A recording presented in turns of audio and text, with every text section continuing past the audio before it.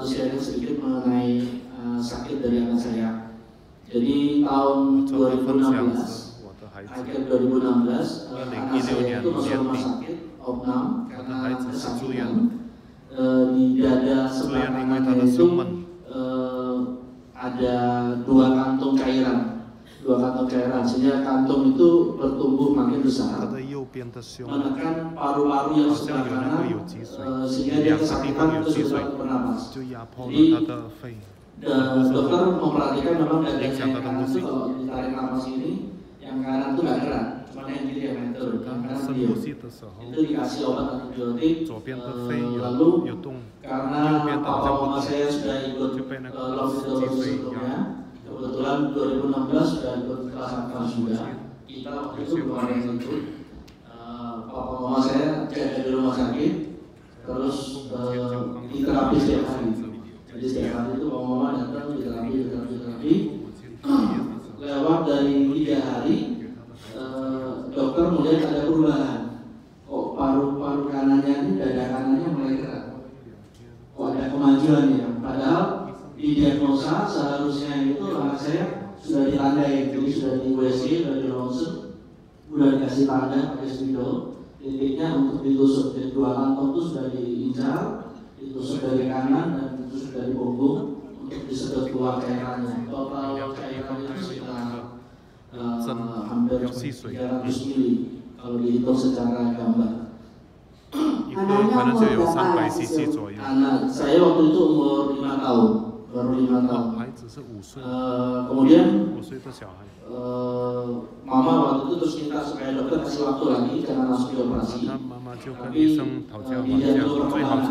Sebenarnya karena papa mama saya yakin ini kalau dikasih waktu lebih lebih pasti ada hasilnya. Jadi minta untuk diundur waktu untuk operasinya. Kebetulan dokter menyetujui dikasih waktu tiga hari lagi tiga hari itu eh, setiap hari dari jam besuk pagi sampai jam besuk sore di tengah-tengah selasanya itu eh, teman-teman dari center Surabaya bergantian datang dan semua bergabung. Saya kami sekeluarga sangat berterima kasih.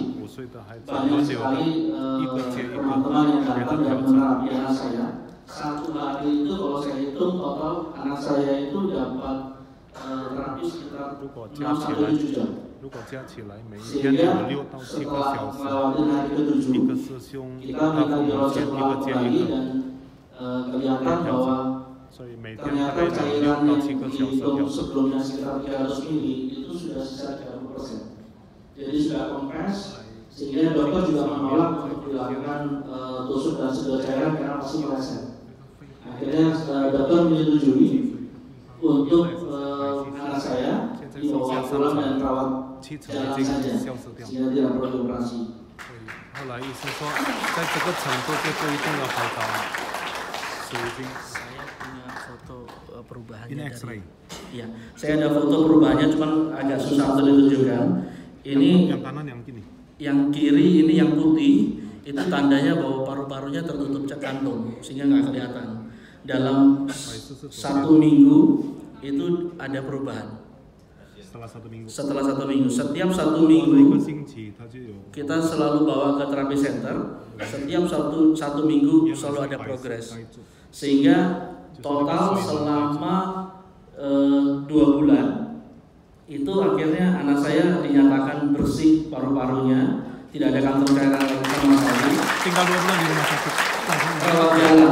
Jadi kasih lihat gambarnya ke sini. 叫他他自己拿去，他懂得画。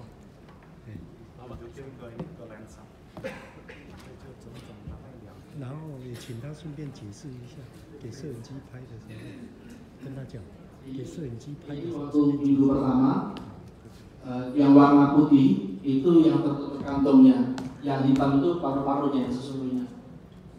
Setelah satu minggu ada progres kantong yang sebelah kanan mengecil sehingga paru-paru yang sebelah kanan semakin terlihat.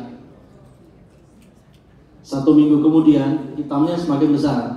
Ini paru-parunya makin makin jelas. Ini setelah empat minggu ini sudah hampir bersih. Eh, jadi setelah satu bulan dokter menyarankan memang untuk crossing dikurangi karena efek untuk ke anaknya. Jadi setelah itu kita baru kontrol lagi setiap sebulan sekali. Tapi total dua bulan itu dinyatakan sudah bersih.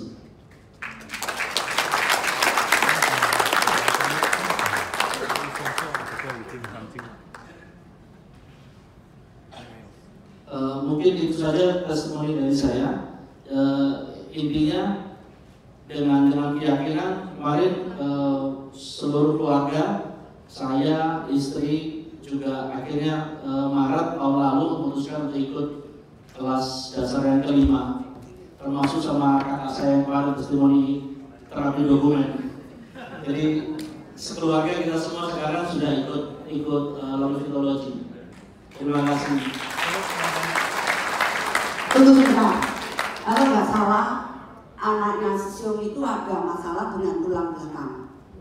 ada betul. Ya, silakan. Jadi karena selama di rumah sakit ditusuk dengan infus, anak saya itu kesakitan. Sehingga posisi badan dia itu karena nahan sakit selalu miring. Selama eh, di ronsen atau di rumah sakit itu nampak tulang belakangnya itu bengkok sehingga eh, skoliosis ya tulang belakangnya itu bengkok begini.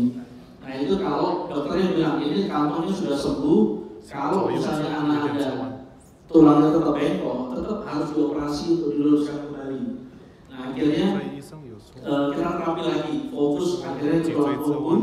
Itu juga dalam waktu satu bulan kita foto ronsen, uh, yang foto tadi saya tunjukkan, itu akhirnya menunjukkan tulangnya itu kencang kembali, urus dalam satu bulan.